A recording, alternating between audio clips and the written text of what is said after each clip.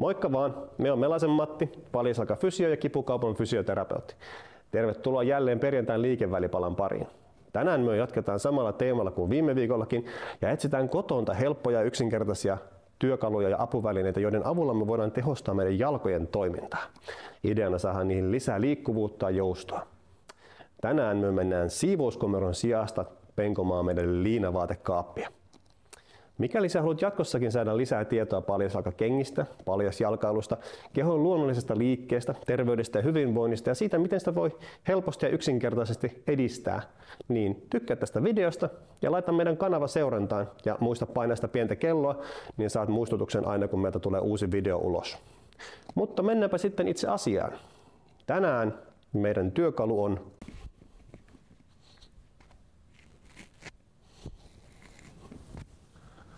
lakana. Siellä voit käydä hakemassa sieltä sun kaapista sen sun kauhtuneimman ja ehkä reikäisimmän lakanasi ja sitten siellä voit tuota, laittaa sen tämmöiselle jonkinlaiselle epämääräiselle rullalle, että me saadaan se tämmöiseksi pitkulaiseksi. Ja sitten teet siihen solmun kuule keskelle. Näin ikkästi Ja sitten teet siihen seuraavan solmun ja Teet siihen niin monta solmua siihen sun lakana, kun sä saat siihen mahtumaan.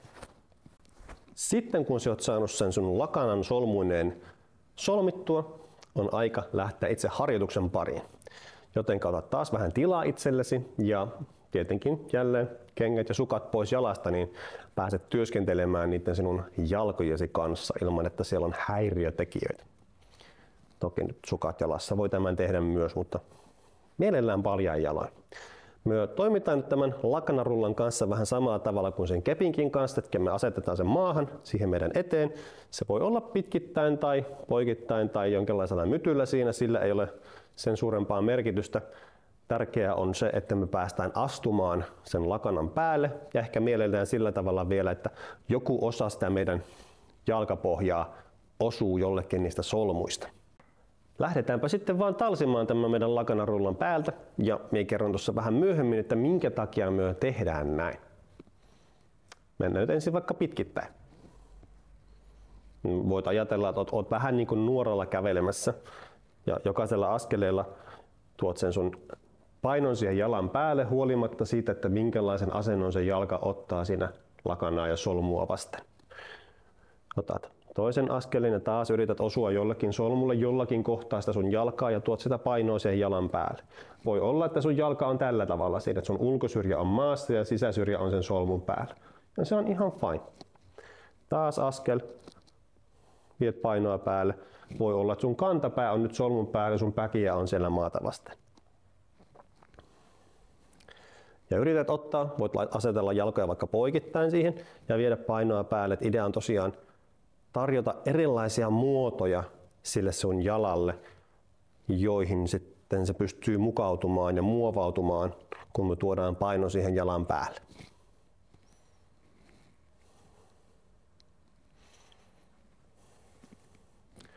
Voidaan mennä sivusuunnassa, ajatella, että mistä pistän päkien vaan siihen, siihen tota solmun päälle. Tai voi laittaa kantapään siihen solmun päälle. Voi astua silleen, että se sisäsyrjä on siinä solmun päällä, tai voi astua niin, että ulkosyrjä on solmun päällä. Ja nilkka ottaa erilaisia asentoja. Jalkaterä ottaa erilaisia asentoja. Voidaan tehdä tätä samanlaista tamppausta, kun tehtiin viimeksi kepin kanssa. Se on ehkä helpoin, helpoin tapa tarjota tätä, tätä simulaatiota, ei simulaatiota, vaan stimulaatiota niille jalkapohjille. Ja joka kerta kun se sun jalka siinä asettuu erilaiseen kulmaan sen lakanan ja solmujen päällä, niin sun luut, jalkaterän 26 luuta, ottaa erilaisia asentoja ja ne on eri kulmassa, ne on liikkunut eri kulmiin suhteessa toisiinsa. Ja samalla sitten niiden luiden välissä olevat jalkaterän 33 eri niveltä liikkuvat erilaisiin kulmiin suhteessa toisiinsa. Ja nyt kaikki lihakset ja jänteet ja muut pehmytkudokset, mitkä liikuttavat näitä li- li- niveliä ja kontrolloivat niiden luitten liikettä, joutuvat ottamaan erilaisia jännityksiä, erilaisia venytyksiä ja ne kokee paljon enemmän, enemmän asioita kuin jos me vaan käveltäisiin tasaisella maalla. Ja ideana tässä on tosiaan vaan tarjota sille jalkapohjalle erilaisia asentoja. Ja se on tavallaan se harjoituksen ydin.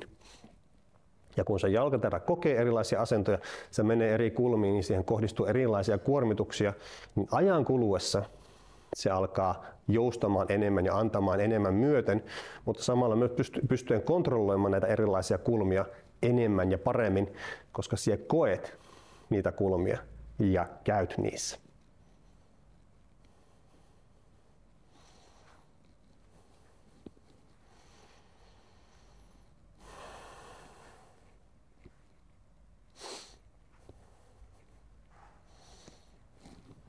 Yksi asia, mitä me voidaan myös tehdä, on tehdä siitä, siitä meidän lakanamytystä jotenkin hyvin epämääräinen, epämääräinen asetelma sinne lattialle.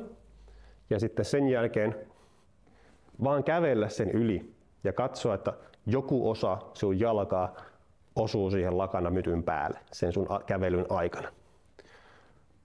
Näin. Ja sitten takaisin. Tavallaan, että se tulee vähän yllätykseen, että mikä osa sitä jalkaa osuu siihen.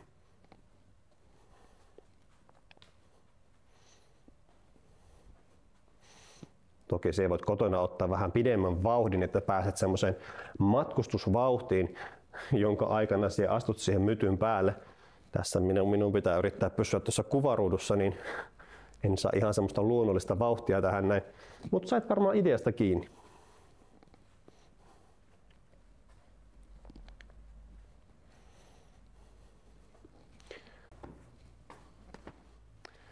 Minkä takia me nyt sitten tehdään tätä tämmöistä lakana solmuharjoitusta? No, minäpä kerron sinulle tämmöisen pienen tarinan, voit miettiä mukana. Kuvittele, että olet kulkemassa paljaan jaloin sammalmättäällä. Sinä tiedät, että se sammal itsessään on pehmeää, mutta sinulla ei ole mitään käsitystä siitä, mitä sen sammaleen alla on. Siellä voi olla soraa, multaa, kiviä, kuoppa tai jonkinlainen vaikka no ei se nyt kukkula ole, mutta kumpu ehkä on parempi sana. Ja vaikka se tiedostat astuvasi pehmeälle, niin sieltä voi sitten tulla yllätys sen pehmeyden alla olevan muodon tai tekstuurin puolesta. Ja sun jalan pitäisi pystyä jokaisella askeleella olemaan fiksu ja mukautumaan parhaalla mahdollisella, mahdollisemmalla tavalla siihen alustaan, minkä päällä sä oot kävelemässä.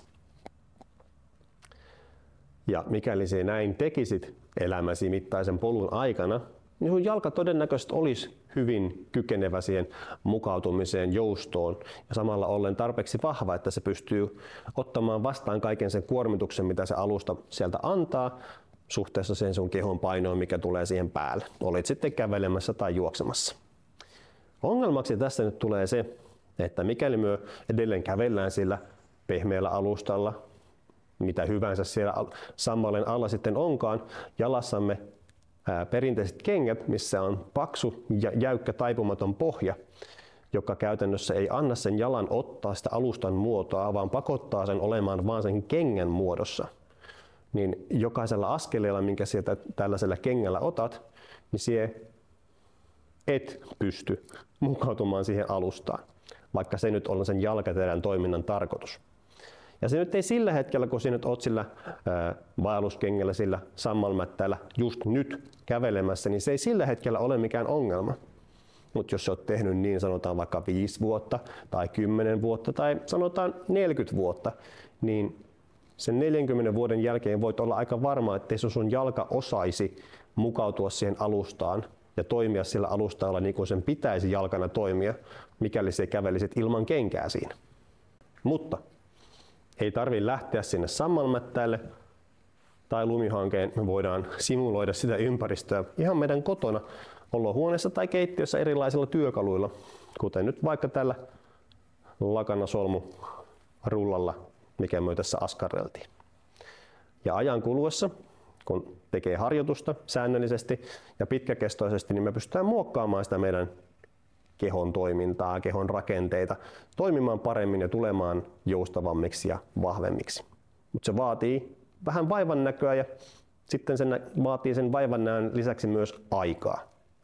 Yksi vaihtoehto tälle jalan kouluttamiselle kokemaan luonnollisempia asioita on myös hankkia jalkaan palisalkakengät ja kun niiden käytön aloittaa hitaasti ja nousujohteisesti, niin ne jalkasi pääsevät kokemaan luonnollisia asioita myös täällä urbaanissa ympäristössä, missä se tasainen ja kova nyt toisaalta on sitä luonnollista.